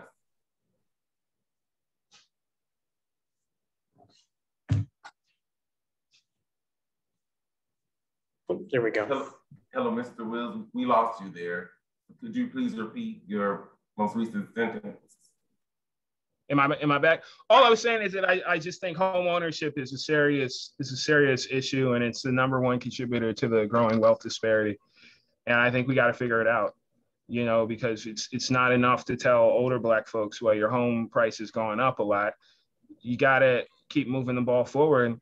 And you, you know, what's what's the point of having an incredibly wealthy generation of black people followed by a gener- you know, the permanent uh, declining of wealth of African Americans. I'm not blaming older black folks at all. It's not their fault. They didn't make the policies. But I think a lot of them just don't even know that it's going on. They just see that their housing price has gone up and they think that everything is great for everybody. And I and I do think that's a, a conversation that we need to we need to have, you know, within our own community. You know, the way this housing crisis has impacted us. And now, just to add one more thing, unfortunately, I think a lot of African American folks are set to lose their homes again, like they did in 2008, because African Americans are disproportionately in uh, this mortgage forbearance pro- program uh, that the uh, that the government has. And if they don't have a smooth exit from the mortgage forbearance program, uh, a lot of them are going to lose their homes, like 2008. So you know, housing is bigger issue, in my opinion, than most people think for African Americans. I, I mean, to your point, you know, I'll be transparent. I'm 31 and I live, I'm currently coming to you live from my apartment. Um, I have a wonderful apartment, but you know, one of these days I would like to buy a home. And I live right. in North Dallas, um, one of the more prestigious neighborhoods. It's a very wonderful neighborhood, but I also, uh, th- there are homes there are multi-million dollar homes down the street from where I live. And somewhere in my near vicinity, the former President George Bush lives. So I would, I don't want to live I mean, I don't expect to have what former President Bush has, obviously, but I would like to have some sort of home. So myself and many of my peers, 31, 35, 40, 45, when, that, when that's gonna happen. So I I agree with your point. My last. Yeah, question, I mean, and that's. Oh yeah. I just want to. Add that, that is one of the things actually to connect back to the the talk. It's one of the things that made Black folks go to Tulsa. Uh, and go to Oklahoma, the desire for home ownership, which wasn't necessarily possible in the South. So you know, it's it's a it's a long long uh, long um, you know history to it. Yeah. So my last question is actually combined with two questions from the chat. Great minds think alike. Because, so I'm gonna read it from my perspective, but they're asking the same thing.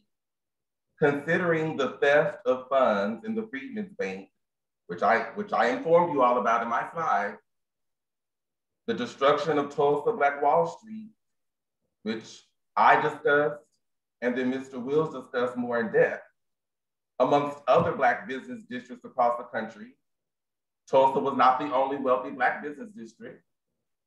In 2023 will be the centennial of the Rosewood Massacre, amongst others. Considering all of this theft, do you believe reparations is owed to African Americans?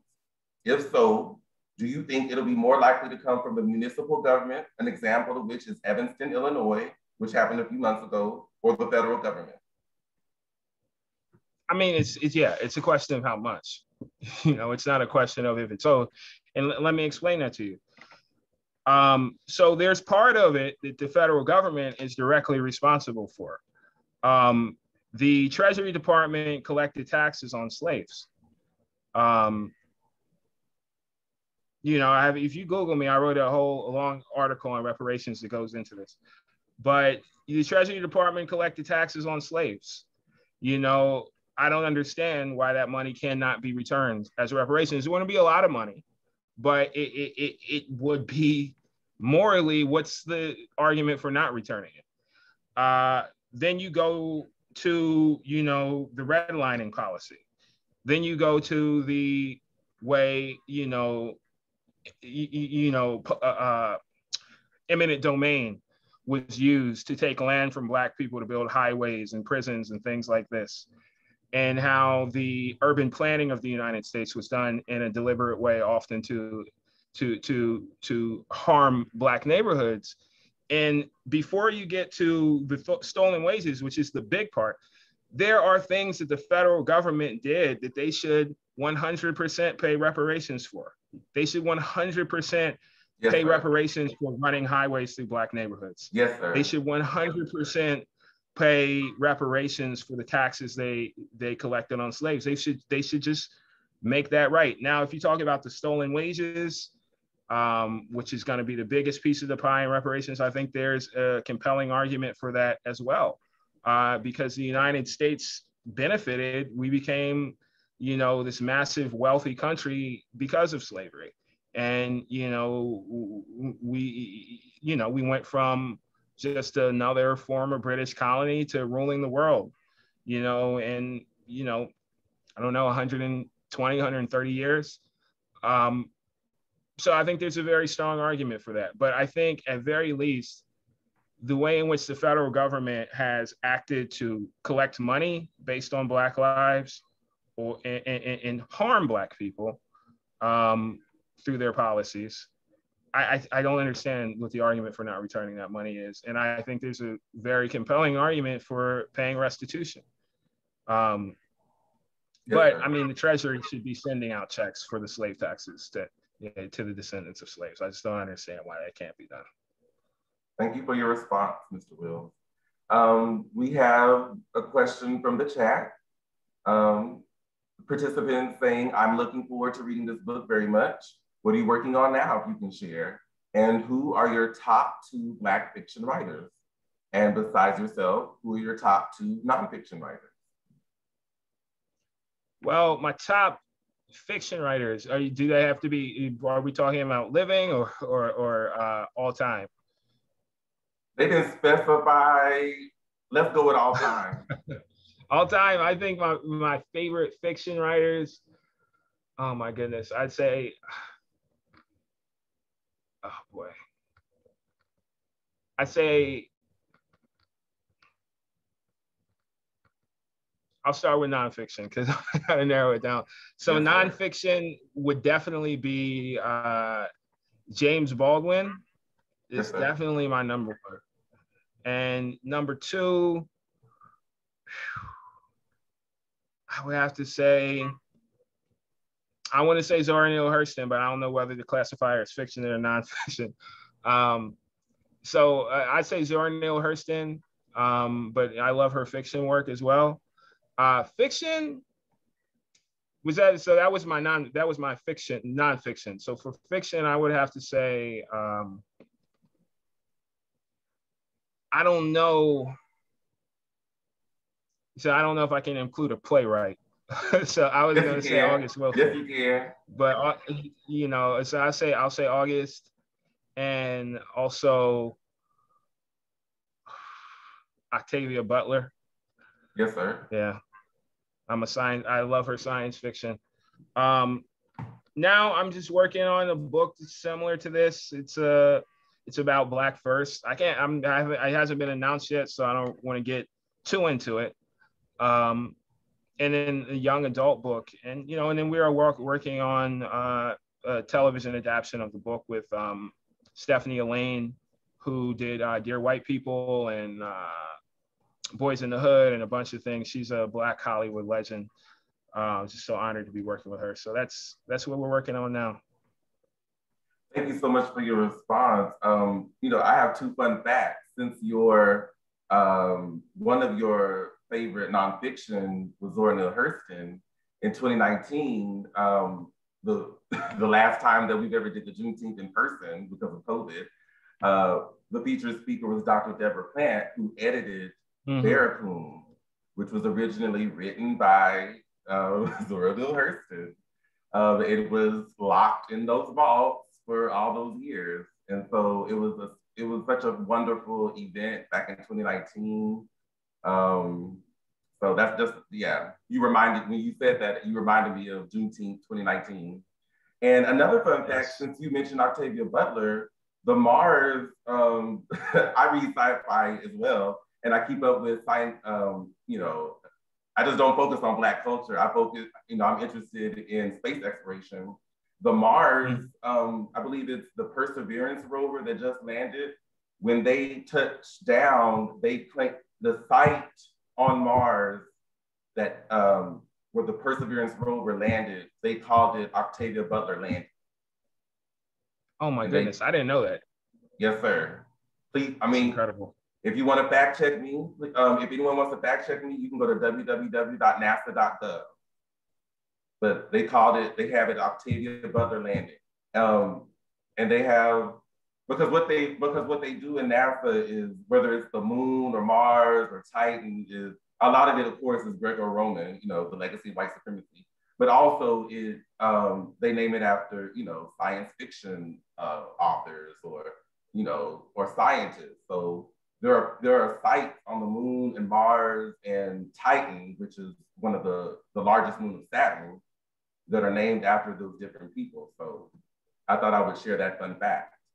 Um, That's amazing. Can I give? Oh, speaking of fact check, can I say one thing? Because somebody I misspoke and I said that Dick Rowland was the elevator operator and Sarah was the elevator operator. Dick Rowland was actually a shoe shine person slash doorman. So I thank you to the person that pointed out that little slip of the tongue. So I did want to correct that.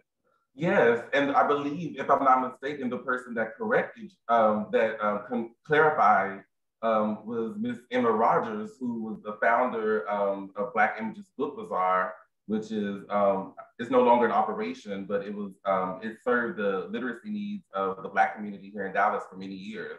I remember I I wow. went there when I was a kid. So wow. does anyone else remember going wow. back in the day? It was over there out of Wynnewood Village. Correct me if I'm wrong. Correct me if I'm wrong. Was it not at Wynnewood Village? So yes, the wonderful Miss Emma Rodgers, who was also in attendance at Juneteenth 2018. She was the she was our thank you, Emma. Thank, thank you. Yes, we have to support our black-owned bookstores. Um, does anyone else have any more questions? Now, now is the time. We will know. We will not. This this present this program will not um, go after 4 p.m. So if anyone has any more questions, now is the time. Um, while I'm waiting for some more questions, um, I, I wanted to just one more, just quick question I have. Have any of the residences of the people um, featured in the book, have they been preserved or are they all destroyed? Because I, I, I thought that Madam C.J. Walker's mansion in New York was preserved. Correct me. Yeah, that, that's that's that's that's preserved. Um, yeah, I mean, so Hannah Elias's house still exists, but I don't think it's not like a historical site um, in New York. It's just both uh, the apartment she lived in in Harlem. I've actually gone there and you know looked up at the apartment. She lived on the top floor. That's still there, and um, her mansion um, off of Central Park is still there, but it's not like marked as like a historical thing. It's just somebody's living there. Um, I believe Robert e, Robert Reed Church's house is not still standing. I could be wrong on that though. Um, going from memory. Um, trying to think. Alonzo Herndon, who's in the book, he's not really a major character, but he was the first black millionaire in Atlanta. His house is still standing, and you can go on tours and see the whole thing. It's wonderful. Uh, the person that inspired this book, uh, the first black millionaire in Jamaica, um, William Stabile, he uh, black first black millionaire in Jamaica was a carpenter on a ship in the 1840s. Ship wrecked off the coast of Venezuela. He swam to shore and found a gold mine. Took over the gold mine, became a millionaire. I visited his house in Jamaica, and that's what made me want to write this book. But that's still there in Kingston. It's called Devon House. Um, there's a famous ice cream shop on the site, but definitely go to see the mansion. It's much better than the ice cream. It's in Kingston. Um, that's still standing. Um, yeah, I'm trying to. Th- I'm trying to think. Mary Ellen Pleasant, ha- Mary Ellen Pleasant's summer home in the Sonoma Valley in wine country still exists. It's part of a vineyard now, if I if I'm not mistaken. So yeah, I have to put that put that out, you know, as to put some information out for people that want to visit these people's homes, the ones that are still standing. Um, so it, thank you for bringing that up. Yes, because I bring it up because you know COVID won't be around forever, and so eventually, you right. know, tour, tourism will return, and these these are tourist attractions. I mean, um, I I visited um, Frederick Douglass's residence in Washington D.C. Wonderful. Um, I and on my list, my to-do list is to go to Harriet Tubman's um, national park. Um, she has two national parks. One is in Maryland, which is where she was enslaved, and the other is in New York, where her residence, her final residence, and her elder home that she created. Um, and I also believe the church that she attended. So oh, one of these days, I'm, I'm making my way up to Auburn, New York. That's um, when COVID when COVID is over. So oh yeah, yeah. Um, okay, there's another participant has a question. Um, they asked, did you consult with any of the survivors of the Greenwood massacre? How many are there? Are, are there three survivors? How many of the survivors are there? No, I didn't get to talk to any of those folks. Um, you know, unfortunately, I was more focusing on um, the founders, um, specifically O.W. Gurley. Um, and he unfortunately didn't have any children, um, so I wasn't able to talk to any of his uh, direct descendants. But the um, the records from the Greenwood trials were really, really useful, and you know they you know left short biographical sketches behind. So but I would love to talk to some of the Greenwood survivors. You know, I, I would love. I, I didn't. I'm not sure how many are, are still with us, but it'd be an honor. Um, Emma Rodgers is saying, and I and I obviously trust Emma Rodgers. She's saying three. Miss Miss wow. Rodgers, do you know their names? Can you type that in the chat, please? So I can read the names for the recording, please. If you're aware. If you're not, it's fine. Other participants can submit questions. We have a couple, a few minutes left.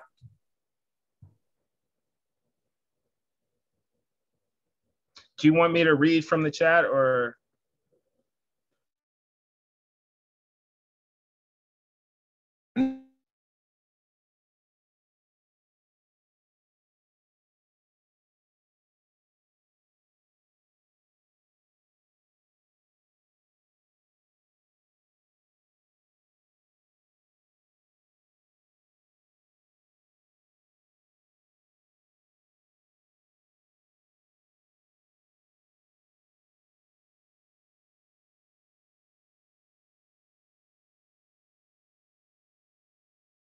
About, definitely uh, definitely uh, you can suggest it. You know, you can definitely suggest it, and you know, I, I would love, especially since it's in paperback now and it's less expensive. I would love for as many kids to read about this as possible.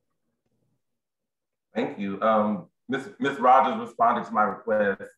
Um, the, the names are Hughes Van Ellis, Leslie Benningfield Randle. Uh, Hughes Van Ellis, Leslie Benningfield Randle, and Viola Fletcher.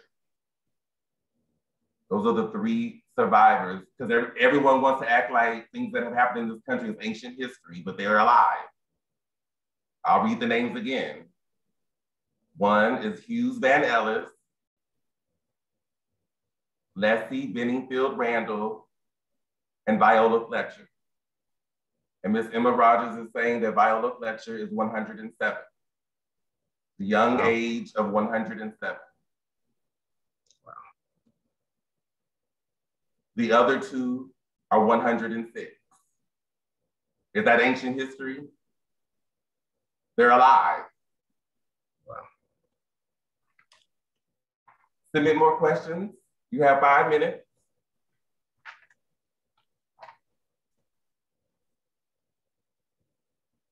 You have five minutes. Going once. Going twice. Gone. Mr. Wills, thank you so much for your time. Uh, closing thoughts, social media contact, is, is whatever you feel comfortable. Yeah, you can follow me on Twitter at, oops, just bought my computer, at uh, Show Wills, S H O W I L L S, at, uh, not at anything, at Show Wills on Twitter, S H O W I L L S. Um, yeah, you know, closing thoughts, you know, I think as we think about Juneteenth and, and, and what it means, you know, I, I, I you know, the thing I, I like folks to really leave with when they think about Greenwood is to not just think about what happened there, but what it meant and put it in the greater context of everything that it that, that led up to it. That Oklahoma was a place that Black people dreamed of, you know, for 60, 70 years. You know, this was going to be it. This wasn't a slave state or a white slave state or, or a, you know, this was a state controlled by people of color and you know they were going to be able to go there and make something for you know for themselves. And if you get read into the book if you read the book i talk about the other little towns that were founded in oklahoma that didn't make it you know and there was actually a push to make uh, oklahoma an all black state um, that didn't go through. And it was just you think about like what that meant you know for this thing that we have been working for for 60 70 years that the shining city of in Oklahoma, Tulsa, Greenwood, the realization of this black dream, the place they call the promised land. You look at the names of the businesses in, in Greenwood, it's places like dreamland, you know, there's almost a dreamlike quality to it if you read about it and what it meant for that to be destroyed. And, you know, if, if there's any way to reclaim that dream, you know? And, you know, I think about that all the time, you know, and that, those should probably be what I would leave you with. Thank you so much for your closing thoughts. I have a few closing thoughts of my own. Um, I am glad that Juneteenth is now a federal holiday because, I, in my opinion, it provides an opportunity for the Black community to have annual um, events or whatever we decide to do in which we just we can discuss how um, the local, state, and federal government can be held accountable for the violence and the psychological trauma they've caused on the Black community. 250 years of slavery, 100 years of Jim Crow, and 50 years of police terrorism. And we all know what happened last year. So, and I am, I'm personally a part of a um, network of um, BIPOC librarians because unfortunately, um, 90% of librarians in the United States are white. Surprise. Um, the other 10% are Black, Indigenous, Native, uh, Black, Indigenous, or Native American, Latinx, Asian, Arab. And, and one of our, and we, we discussed a lot of things about racial equity. And one of the, um, uh, one of the members said that this country is a crime scene covered in the blood of BIPOC people. And when they said that, at first I'm like, uh, I was. It kind of took me off. it took me off guard. But the more I thought about it, I'm like, yeah, they're right.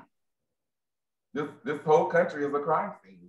And until we can acknowledge, until the local, local, state, and federal governments are held accountable for their the harm that they've caused, it will continue to be a crime scene. I'm glad that Juneteenth is a federal holiday. It's amazing. We worked so, I mean, so many people have worked so hard to make that happen.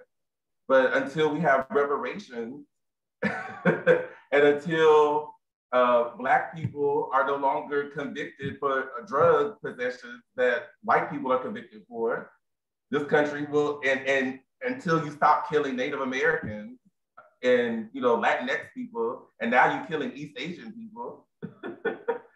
until you stop doing that, this country is a crime scene. So it might not be the truth, but it's my truth. So those are my uh, closing thoughts. I would like to again thank you all for coming. Uh, I would like to thank the Friends of the Dallas Public Library for their generous support. They are amazing. Um, thanks you again, Mr. Shomari Wills, for your time, for writing such a fascinating book, an informative presentation. And we will be sending an email to all registrants with the link to the recording, um, the book list, and we have a survey. We value your feedback. We do value your feedback. So please look for that within the next um, few weeks or so. We'll be sending that out. Thank you so much for visiting the Dallas Public Library online. You all have a wonderful, bright day. It, it's hot, but the sun is out. And happy Juneteenth. Thank you all so much. Thank you all.